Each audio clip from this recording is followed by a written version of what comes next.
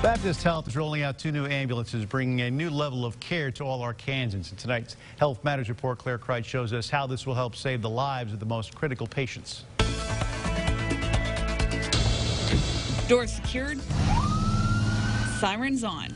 A new kind of ambulance is hitting the streets of the natural state to care for some of the most critical patients. From heart attacks or from chronic heart disease, uh, from lung failure, and people that uh, have severe trauma. Baptist Health Transplant Institute Program Director Dr. John Ransom says this ambulance takes everything you'd find in an ICU and puts it on the road. In this ambulance, we can use ECMO, which is a, a system that fully supports heart or lung function.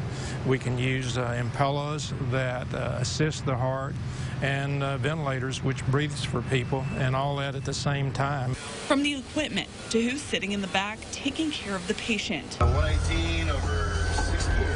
This transports four healthcare professionals, including a physician, a perfusionist to run the pump, an assistant to them, and an ICU nurse. We can change medications, we can change the flow of the device as we move along, and whatever is necessary can be done as during that transfer period.